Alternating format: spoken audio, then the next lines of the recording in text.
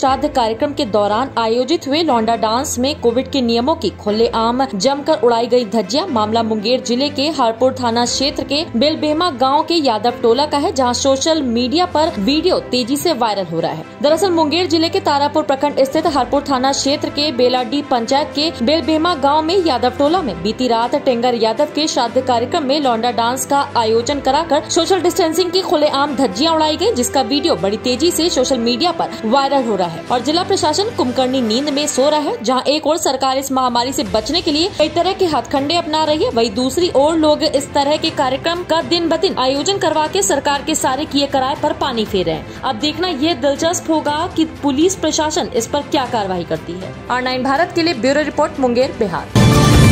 मामला सुपौल जिला छातापुर थाना क्षेत्र के अंतर्गत प्रताप नगर वार्ड संख्या 10 का है, जहाँ बताया जाता है कि बहुत दिनों से एक जमीनी विवाद की लड़ाई चल रही थी, जो कि मोहम्मद अफरोज आलम इसकी सूचना अंचलाधिकारी को पहले दे चुके हैं, जिस पर अंचलाधिकारी की तरफ़ से रोक भी लगा दी गई थी, लेकिन विपक्षी मास्टर नुरुल्लाह कानून को ताक पर रख कर दबंगई दिखाते हुए अपनी सभी साथियों के साथ जबरन घर का दीवार बनाने लगा। इसको देख मोहम्मद अफरोज आलम जब उसे रोकने गया तो मास्टर नरुल्ला और उसके सभी साथी जो पहले ऐसी चार दबंग, जो जो मोती टाप में मंगाए हुए थे। सभी ने मिलकर मोहम्मद अफरोज आलम, मोहम्मद रागीब और मुस्तरी खातून पर लाठी फरसा और रॉड से हमला कर दिया, जो तीनों बुरी तरह से जख्मी होकर ज़मीन पर गिर गए, जिसे ग्रामीणों की मदद से तीनों को अस्पताल लाया गया और इसकी सूचना छातापुर थाने को लिखित रूप में दी गई। और साथ ही दबंगई की धमकी भी दे रहा है की जो भी करना है कर लो, मेरा कुछ बिगड़ने वाला नहीं है। अब देखना लाजमी होगा की सुशासन बाबू के राज में कब तक इन दबंगों पर लगाम लगती है या प्रशासन की मिली भगत से इस बात को दबा दिया जाता है। मोहम्मद अफरोज आलम हुआ हाँ। सर वो ज़मीन जो है ना विवाहित है तकरीबन उन्नीस फीट की ज़मीन। हम्म, जो हाल सर्वे का खतियान मेरे पास भी मौजूद है। हम्म, उसका केवाला केवाला के हिसाब से मेरे सामने चौहदी भी नहीं है। अच्छा। वो केवाला लिया पहले बंदोबस्ती लिया था बाद में केवाला लिया। जी। उसका चौहदी भी नहीं है। हम्म, उसके बाद हम केवाला का उसका नकल निकाले तो उसका केवाला का नकल में जितना ज़मीन है वो अलग अलग तो गिराया हुआ है। अरिया चौहदी लेकिन किस भाग में कितना ज़मीन है वो दर्शाया हुआ नहीं है। अच्छा। अब प्लस वो ज़मीन बिहार सरकार है जो पास में मौजूद है। हाँ। ठीक है ना? बिहार सरकार उसमें हमारा केस चल रहा है हम एस कोर्ट में केस किए हुए हैं। उसमें बारह डिसमिल ज़मीन का पता नहीं सीओ साहब लिख के दिए हैं जो इसका कोई काम ना तो हम कर सकते हैं ना वो कर सकता है। उसका एक दीवार उसमें डिवाइड पड़ा हुआ है जो अभी तक हम लोग रोके हुए हैं। वो ज़बरदस्ती चाह रहे थे हम लोग बोले जब आपको करना है तो इसको नापी कीजिए। अगर ये दीवार आपकी साइड में नहीं होगा आपकी ज़मीन में डिवाइड ज़मीन में नहीं होगा तो आप जोड़ लीजिएगा। जब डिवाइड ज़मीन में है तो आप मत काम कीजिए। जब फैसला हो जाएगा कोर्ट से तो आप कर लीजिएगा। हाँ इसमें मास्टर नूरुल्ला मास्टर पप्पू मोहम्मद जुबैर मोहम्मद नेहुद्दीन ये सब लोग पे मारना शुरू क्या चीज़ से मारा आप लोगों को? दिया। और सा खंती लाठी आप लोगों को जो मारा है इसका इसकी सूचना आप थाना को दिए थे। थाना को सर हम कौन सा थाना पड़ता है आपका? आ, थाना छतापुर थाना नंबर दो सौ सत्रह। थाना छतापुर पड़ता है? हाँ जी सर। थाना थाना को दिया तो थाना अध्यक्ष ने क्या आश्वासन दिया आपको इस विषय में? थाना आश्वासन ये दिया जो आवेदन दी हमला हुआ कैसे आप लोगों के साथ मारपीट हुई है? पप्पू मास्टर और नूरुल्ला मास्टर दोनों मिलके अ, यहाँ यहाँ तीर से तीर से मारा है। क्यों मारा है? क्या वजह थी मारने की क्या वजह थी? ज़मीन की वजह से मार मारपीट किया है। ज़मीन की वजह से मारपीट किया है। कौन सा ज़मीन की वजह से मारपीट किया है? वो ज़मीन जो है ना हम लोग का घर बना हुआ है।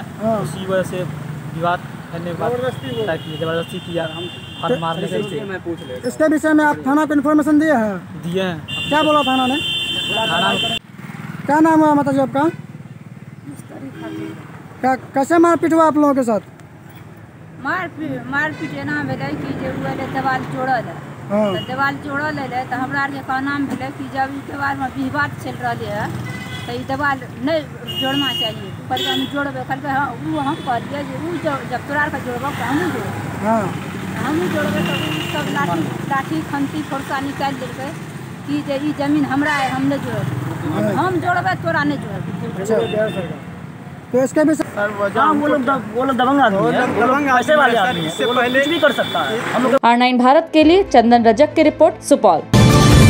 समस्तीपुर लोजपा नगर कार्यालय में लोजपा के नव निर्वाचित राष्ट्रीय अध्यक्ष माननीय सांसद पशुपति कुमार पारस जी के निर्देश पर पूर्व विधायक जिला लोजपा अध्यक्ष विश्वनाथ पासवान प्रेस कॉन्फ्रेंस कर नव निर्वाचित अध्यक्ष पशुपति पारस को बधाई देते हुए कहा कि उनके नेतृत्व में स्वर्गीय रामविलास पासवान जी की विचारधारा पर चलकर पार्टी को मजबूती के साथ आगे बढ़ाएँगे। हम लोगों के नेता चिराग पासवान भी वह पार्टी के कार्यकर्ताओं की भावनाओं का ख्याल रखते हुए लोजपा को मजबूती प्रदान करेंगे। परिस्थिति बस पारस जी अध्यक्ष बने। पार्टी में लगातार पदाधिकारी एवं कार्यकर्ताओं का पलायन दूसरे दलों में हो रहा था। चिराग जी के निजी सहयोग, सौरभ पांडे का हस्तक्षेप पार्टी में बिहार से लेकर दिल्ली तक था। पार्टी में समर्पित पदाधिकारियों का घोर रूप से उपेक्षा हो रहा है, जिसके कारण पार्टी के विधायक एवं विधान परिषद दूसरे दलों में चले गए। लोजपा सांसद भी शीर्ष नेतृत्व में क्षुब्ध चल रहे थे। पार्टी को बचाने के लिए पशुपति पारस सभी सांसदों एवं लोजपा पदाधिकारियों के आह्वान पर लोजपा राष्ट्रीय अध्यक्ष बने। समस्तीपुर लोजपा कार्यकर्ता चाहते हैं कि चिराग पासवान, पशुपति पारस, प्रिंस राज सूरज, भान सिंह आदि सभी मिलकर पार्टी को आगे बढ़ाए।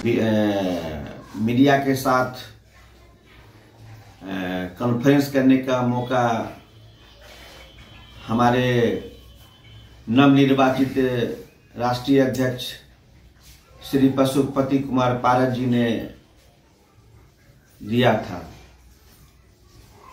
इसी के वास्ते हम लोग आज समस्तीपुर के कार्यकर्ता हमारे मीडिया प्रभारी, प्रधान महासचिव, ये सब हैं और सारे लोग वरिष्ठ कार्यकर्ता मिल के आज हम लोग मीडिया के सामने पार्टी के बारे में कुछ कहना चाहता हूँ। पार्टी हमारी सत्रह तारीख को नवनिर्वाचित राष्ट्रीय अध्यक्ष श्री पशुपति कुमार पारा जी को राष्ट्रीय अध्यक्ष चुन लिया है। और चुनने के बाद आशा करता हूँ कि जो माननीय सांसद पशुपति कुमार पारक जी, ये अपने पद को सही सदुपयोग करके पार्टी को आगे बढ़ाने का काम करेंगे।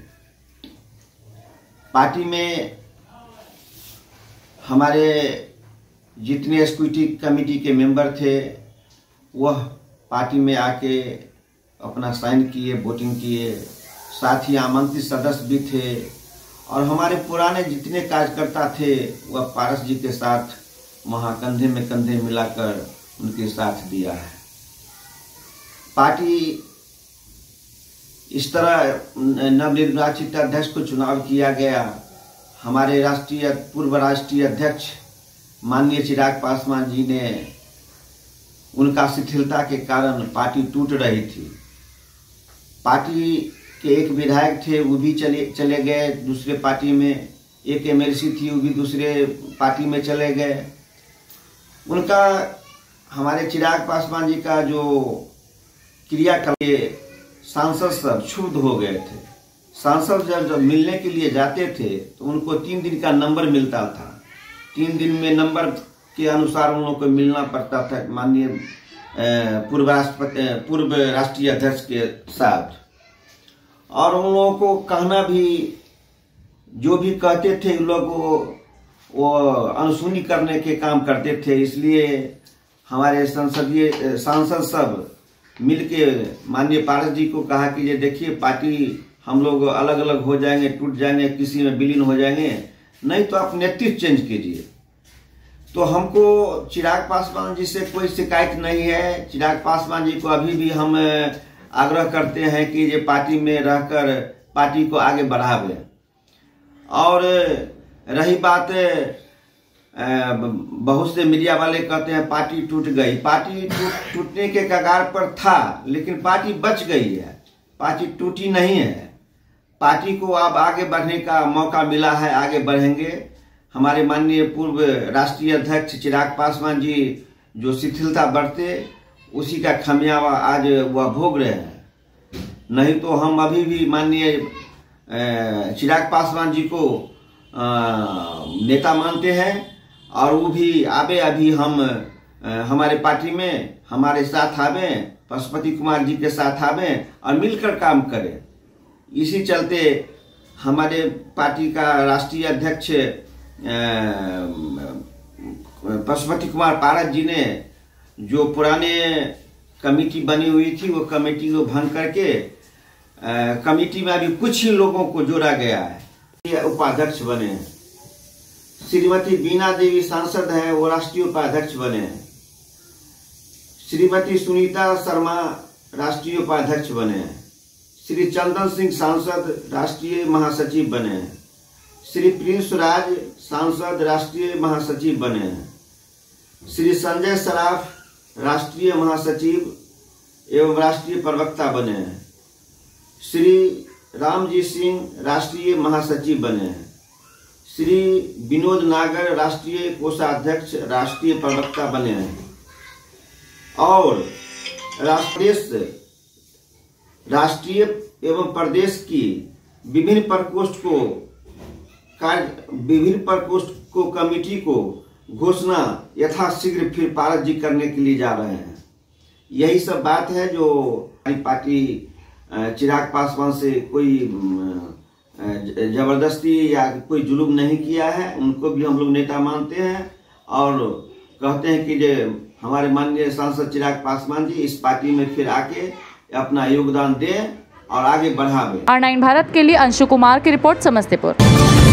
बिहार के समस्तीपुर में कुमार प्रजापति समाज अपने मांगों को 2014 से ही लगातार मांग कर रहे हैं कि कुमार प्रजापति को राजनीति में भागीदारी मिले, माटी कला मंदिर बोर्ड का गठन हो। लेकिन आज तक कोई भी मांग पूरी नहीं हुई है। इस मुद्दे को लेकर प्रमोद कुमार पंडित ने अपने असफल प्रयासों के बाद भी हार नहीं मानी और अपने प्रजापति समाज के लिए एक बार फिर से नए सिरे से कुमार प्रजापति को राजनीति में विधायक, सांसद विधान परिषद तक नहीं मिला। कुमार प्रजापति समाज को बिहार में आज भी कोई भी बोर्ड नहीं है, जबकि यूपी और झारखण्ड में तीन साल पहले ही माटी कला बोर्ड का गठन हो चुका है। एक गरीब को रोज़गार से विधायक बना सकते हैं तो एक कुमार प्रजापति समाज के बेटा या बेटी को किसी बोर्ड में अध्यक्ष या सदस्य तक बनाकर बिहार में कुमार प्रजापति समाज को मज़बूत जगह बना सकते हैं। खादी ग्रामोद्योग बोर्ड द्वारा कुमार प्रजापति समाज के लिए योजना धरातल पर नहीं उतर आई, जिसके कारण कुम्हार कल्याणकारी योजना लोगों तक पहुँच नहीं पा रही है।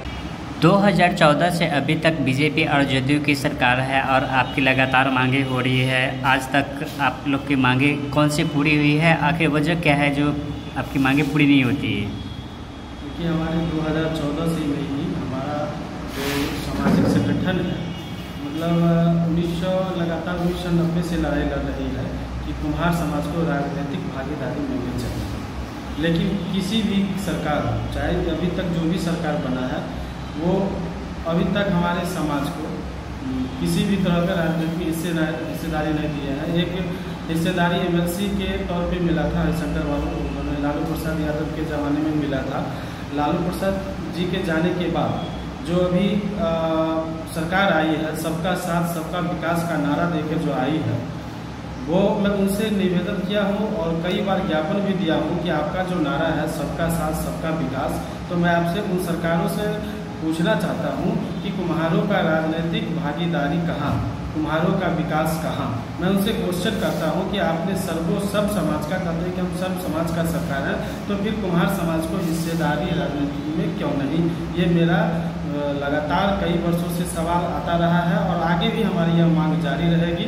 सरकार से हमें जितनी लड़ाई लड़ना होगा सामाजिक स्तर से हम सरकार से लड़ाई लड़ेंगे और अपनी हिस्सेदारी लेके रहेंगे। क्या नाम हुआ मेरा नाम विनोद कुमार पंडित। जिला संगठन सचिव समस्तीपुर हमने उन पर यही करने काम किया और उन पर हमने ये दबाव भी बनाया कि आप 2014 से लगातार कुम्हार समाज को कहते आ रहे हैं कि कुम्हार प्रजापति समाज के लिए हम अच्छा से अच्छा काम करेंगे और राजनीति में भागीदारी देंगे। लेकिन आज तक आपने देने का काम नहीं किया, उन्होंने आश्वासन दिए हैं कि आप जो मांग पत्र दे रहे हैं, इस मांग पत्र के माध्यम से हम आपस में बैठक करके और आपको माटी कला बोर्ड का गठन करवाएँगे। और जो भारत सरकार का योजना है कुम्हार प्रजापति समाज के लिए, उसी लघु उद्योग के लिए, वह छात्र को उतारने का काम करेंगे। और इसमें जहाँ जो भी सहयोग करना पड़े, हम जिला जिला पदाधिकारी से लेके और राज्य के जो अधिकारी हैं, वहाँ तक हम बात करें, खादी ग्राम उद्योग तक बात करेंगे। और आपके सभी योजना सरकारी योजना का धरातल पर उतारने का हम लोग पूरा सहयोग करेंगे। आप लोग के साथ हैं। यही बात मंत्री जी ने कहा। आज मंत्री जी से मुलाकात किए आपकी बरसों से मांग रुकी हुई है। आज मंत्री जी क्या आश्वासन दिए आप लोगों को? मंत्री जी को हमने कहा कि बिहार में कुम्हार प्रजापति प्रजापति समाज को भारत सरकार का एक भी योजना का लाभ नहीं उठा पाते हैं। कारण क्या है? बिहार में माटी कला बोर्ड का गठन नहीं हुआ। बिहार में कोई एम पी नहीं है। बिहार कुम्हार प्रजापति समाज में।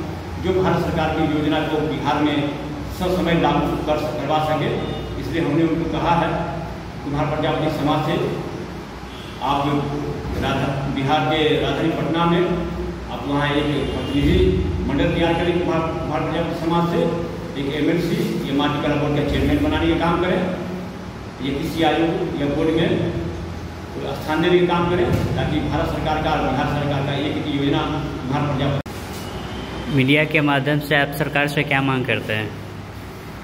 आपके चैनल के माध्यम से हम ये चाहते हैं कि बिहार सरकार जैसे मला निषाद समाज के लिए मत्स्य बोर्ड का गठन उन्होंने किया और आज हर सुविधा इंश्योरेंस से लेके और लोन से लेके और सरकार का कई योजनाएँ निषाद समाज को मिल रहा है मत्स्य विभाग की तरफ़ से। इसी तरह कुटकारी उद्योग पर सरकार ध्यान दे और लोन लेने में हो या कुम्भकार का जो भी सरकारी बेनिफिट है, वो समय मिले। इस पर हम सरकार से यही कहेंगे कि आप तमाम पदाधिकारी, प्रखंड के विकास पद प्रखंड विकास पद का पदाधिकारी हो, या सभी जिला के जिला पदाधिकारी को एक चिट्ठी जारी करें और कुम्हार समाज को जो मूर्ति बनाने वाला हो, बर्तन बनाने वाला हो, वो लोग के लिए जगह का भी अभाव है, वो जगह आवंटन किया जाए और वो लोग को जगह मुहैया कराया जाए। सरकार की तरफ़ से जो लोन दिया जा रहा है और रोज़गार के लिए जो सरकार की योजना है वो ससमय कुम्हार समाज को मिले यही क्या नाम हुआ? आग्रह करते हैं निवेदन करते हैं। क्या नाम हुआ आपका? प्रमोद कुमार पंडित कुमार प्रजापति समाज का जिला अध्यक्ष समस्तीपुर से लगातार आपकी बहुत सारी मांगे हैं राजनीति में आपकी हिस्सेदारी और किसी भी बोर्ड में आप अध्यक्ष चाहते हैं या एमएलसी चाहते हैं उसके बाद मुख्य रूप से माटी कला है माटी कला की मंदिर की ये गठन इनमें से अभी तक आपकी कौन सी मांगे पूरी हुई है? एक भी मांग पूरी नहीं हुई। इसके संबंध में क्या बोले? क्या वजह है जो आज तक कोई भी मांगे पूरी नहीं हुई? राजनीतिक रूप से हम लोग पिछड़े हुए हैं मेरा कोई भी एम पी एम नहीं है। इसके कारण हम लोग हमारे हमारी आवाज़ को वहाँ तक पहुँचने में दिक्कत हो रही है और हमारे हर योजना को सरकार नज़रअंदाज करके चलती है और राजनीतिक दल भी क्योंकि हम लोग पूंजीपति वाले जाति नहीं हैं जो हम लोग पूंजीपति खर्च करके भी अरबों पच्चीस सौ करोड़, पचास करोड़ रुपया खर्च करके हम मंत्री संतरी बने, या विधायक बने, जिसके कारण हमारी जाति को आज बहुत नज़रअंदाज करके देखा जाता राजनीतिक दल में, और इसलिए हमारा धर्म का विकास अवरुद्ध हो रहा है। आर भारत के लिए अंशु कुमार की रिपोर्ट समस्तीपुर।